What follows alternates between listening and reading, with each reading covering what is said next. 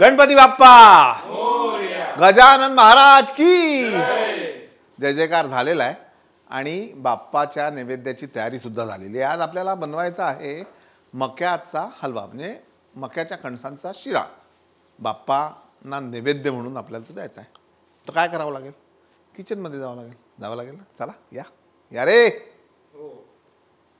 गणपती बाप्पा हे प्रकरण असं आहे की सगळ्यांचा आवडता देव आहे. म्हणजे लहान मुलांमध्ये सगळ्यांना आवडत असतो.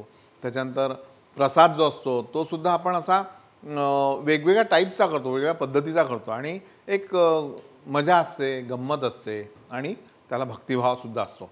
या दिवसात मक्याचे कणसं येतात आणि मक्याच्या कणसांचा एक छान उपम्याचा प्रकार होतो आणि एक आपला हलव्याचा प्रकार. त्यासाठी स्वीट कॉर्नचे जे दाणे असतात ना ते काढून घ्यायचे फ्रेश आणि त्याला मिक्सरमध्ये बारीक करायचं. एकदम न करता दोन भागात करायचं. म्हणजे खूप जास्त पेस्ट अशी होणार नाही त्याची. आणि हे बघा अशा पद्धतीने खूप असं बारीकही नाही खूप असं जाडही नाही. ओके यामध्ये एक दोन चमचे चित्रांचं तूप.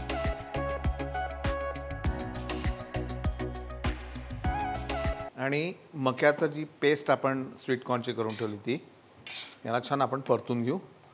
थोडंसं घट्ट होईस्तोवर चिमूटभर मीठ आणि अर्धी वाटी साखर. म्हणजे एक वाटी जर कॉर्न असतील कारण स्वीट कॉर्न तसेही गोड असतात. यामध्ये अर्धी वाटी साखर घालून ह्याला छान आपण पुन्हा घट्ट हिस्सोर परतून घेऊ.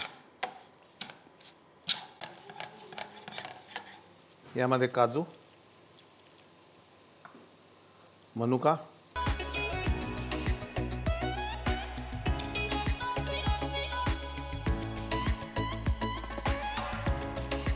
आता वेळ झाली आहे बाप्पाला नैवेद्य दाखवण्याची.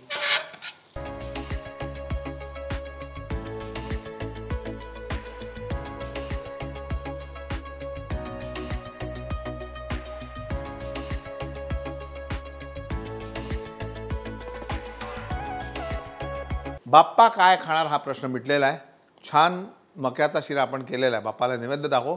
आणि आजच्या भागाला राम राम करू. पाहत राहा. असेच वेगवेगळे प्रसादाचे पदार्थ उद्यासुद्धा भेटू याच भागात. नमस्कार.